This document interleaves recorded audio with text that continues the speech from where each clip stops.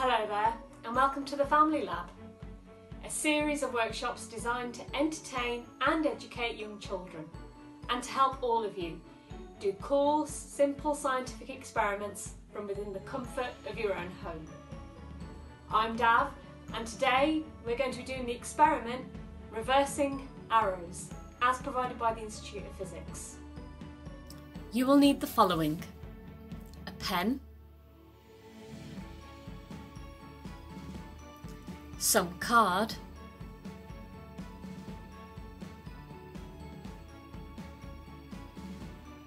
a straight-sided glass, a jug of water, and something to act as a stand for the card. I've just used another glass.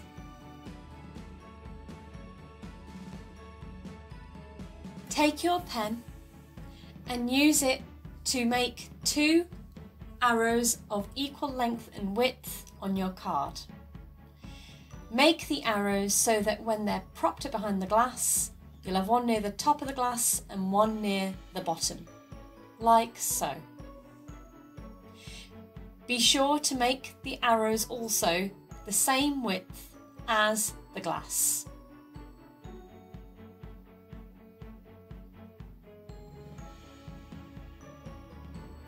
Position the card behind the glass so that you can see the arrows through the glass at the front.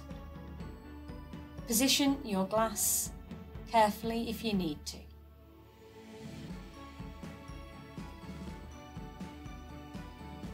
Next, pour in the water into the glass. You want to pour it so that the water level is in between your bottom arrow and top arrow. Notice how the bottom arrow is reversed now compared to the top arrow? Pretty cool, huh?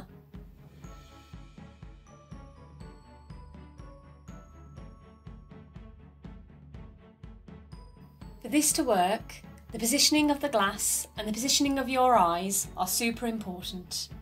So position the glass correctly to get maximum effect. And note that if you look over the glass, you no longer get the reversed arrow.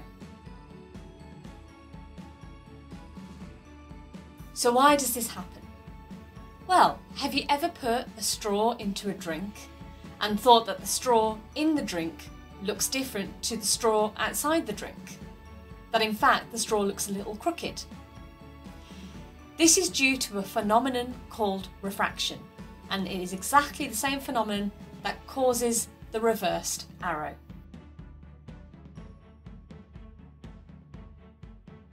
It's easiest to explain this using a diagram.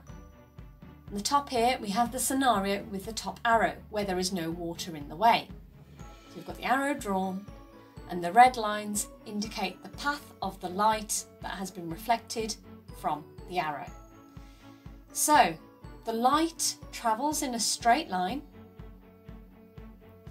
hits the glass where it also travels through air, continues in a straight line, and then forms an image in the eye of the arrow you see.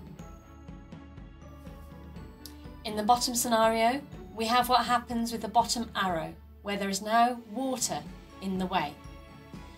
The light reflected travels in a straight line, like with the top at first, but now hits a boundary with water. In this scenario now, the light is bent due to refraction. This means that the image of the arrow that you see through water is different to the image of the arrow that you see through air.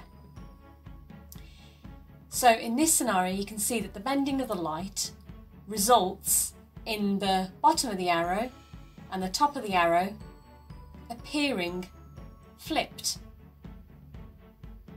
Hence why, with the image that is formed, the arrow appears reversed.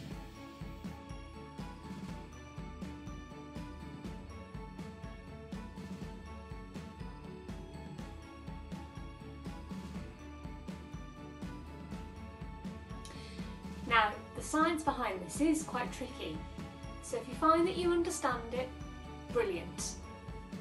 Don't understand it, don't worry. Just enjoy doing the experiments at home with your family and friends. If you'd like to play about with the experiment a bit more, have a look at the impact of using bigger and smaller glasses, or even different shaped ones like this one. Thanks for listening and have a great day. Bye now.